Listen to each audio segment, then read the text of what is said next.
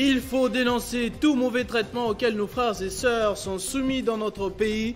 Déclaration du cardinal Fridolin Ambongo lors de son homélie de Pâques ce dimanche. L'archevêque métropolitain prévient que la vie de chaque Congolais a du prix aux yeux de Dieu. La conférence ministérielle sur le barrage de la Renaissance s'ouvre ce dimanche avec une allocution du président de la République. L'événement a lieu à Kempinski, fleuve Congo, hôtel de Kinshasa. Alors que l'on compte plusieurs déplacés de Bounia Kiri dans le sud Kivu suite à des affrontements entre rebelles, une crise s'est installée à l'Assemblée provinciale où un bureau d'âge devrait être installé incessamment. Mesdames et messieurs, Bonjour. Le président de la République lance officiellement ce dimanche la conférence ministérielle sur le barrage de la Renaissance au fleuve Congo Hôtel, un événement de grande envergure qui connaîtra la présence entre autres de ministres des Affaires étrangères égyptiens, soudanais et éthiopiens. Actuellement président en exercice de l'Union africaine, Félix Tshisekedi compte faire avancer les négociations au point mort pour le moment. Le gouverneur de la ville de Kinshasa, Giantini Ngobila, a procédé, lui, ce samedi, dans la commune de Lingoala, au lancement de l'opération 3D, désinfection, désinfectation et dératisation en présence du coordonnateur de Kinshasa Wopeto. Il s'agit d'une collaboration avec Acacia Logistique pour l'assainissement de toute la ville de Kinshasa.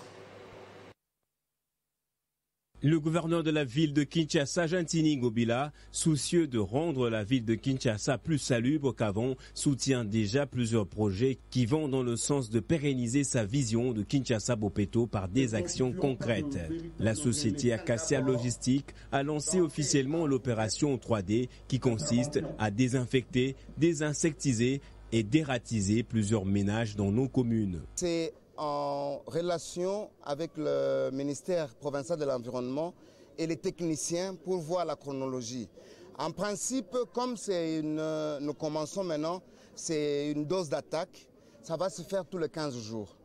Tous les 15 jours jusqu'à ce qu'on atteigne un trimestre, on aura baissé la teneur des vecteurs et là on reprend un chronogramme d'une fois le mois. Le coordonnateur de Kinshasa, Bopeto, a demandé aux différents bourgmestres de la ville d'adhérer à cette vision. Ça commence à Lingwala. Nous invitons tous les bourgmestres à adhérer à cette action pour que, in fine, notre ville soit une ville débarrassée des insectes nuisibles. Et tout, nous allons les détruire, et ce, sur toute l'étendue de la ville de Kinshasa. Cette opération d'acacia logistique lancée dans la commune de Lingwala va s'étendre sur toutes les communes de la ville de Kinshasa. Les 320 Kuluna partis de Kinshasa sont arrivés par l'aéroport de Bipemba au Kassa oriental, loin de la fausse conception de leurs familles respectives. Le centre de Kanyama KCC n'est pas un mouroir. Ces jeunes désœuvrés seront plutôt formés en agriculture, menuiserie et autres domaines pouvant les rendre utiles à la société congolaise dans la discipline la plus totale. Les 320 jeunes Kuluna partis de Kinshasa sont arrivés au Kasaï oriental par l'aéroport de Bipemba. La destination, c'est le centre pilote de Kanyamaka CC. Après 240 km de route, passant par Mweneditu et Luputa, les Kuluna ne sont pas en tourisme. Dans la grande discipline, ils seront formés dans l'agriculture, menuiserie, minoterie et autres domaines. Kanyamaka CC n'est pas un mouroir.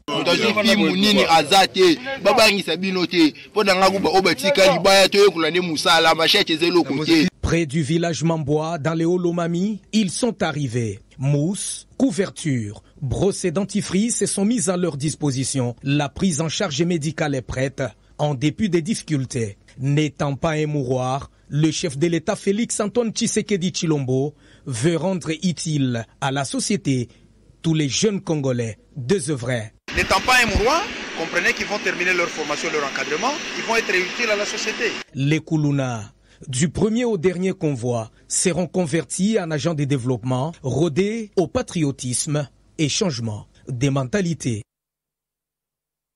Un déplacement massif de la population est signalé dans le groupement de Mubugu à Bunyakiri dans le territoire de Kalehe au sud Kivu depuis le 1er avril dernier suite aux affrontements entre le Raya Mutomboki et les Niatura. Paulin Malira, un élu de la région, a indiqué qu'au moins trois villages se sont vidés et plusieurs morts comptés dans la foulée. Le nœud du problème proviendrait d'un kidnapping de cinq personnes qui creusaient autour des minéraux dans les parages du parc national de Kaozibiega. Pendant ce temps, la crise sévit à l'Assemblée provinciale du Sud Kivu.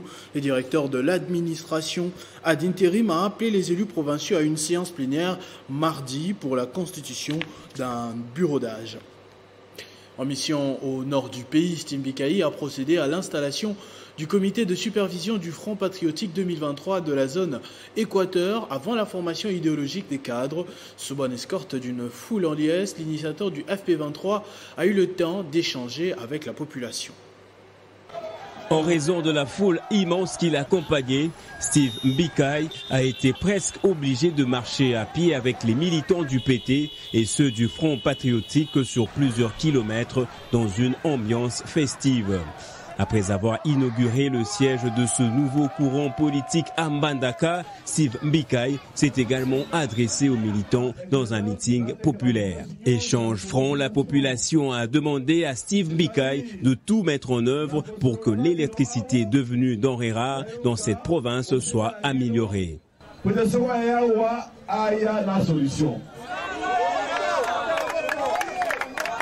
L'initiateur du FP 2023 a promis d'être le porte-parole de cette population en transmettant les doléances à l'autorité suprême tout en leur demandant de lui faire confiance. Et avant de clôturer, Steve Mbikai a demandé à la population de faire confiance au Front patriotique 2023 et à soutenir l'idée de faire du chef de l'État le candidat commun de l'Union sacrée à la prochaine élection présidentielle.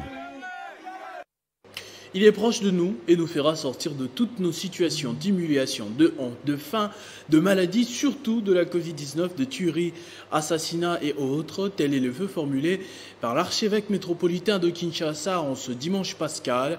Le cardinal Fridolin Ambongo a interpellé les Congolais sur le respect de la dignité humaine et à l'implication de tous pour changer la situation du pays.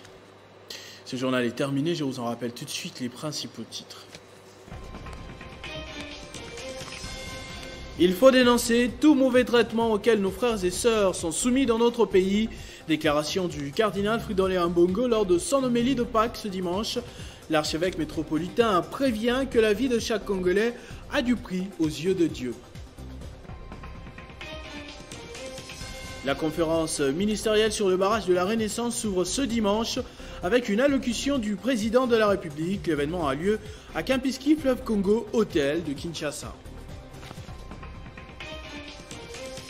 Alors que l'on compte plusieurs déplacés de Bunyakiri dans le sud Kivu suite à des affrontements entre les rebelles, une crise s'est installée à l'Assemblée provinciale où un bureau d'âge devrait être installé incessamment. A tous et à toutes, merci de votre attention soutenue. Restez fidèles au programme de votre chaîne Télé 50 et surtout, bon dimanche Pascal. Vivez heureux, vivez sans temps.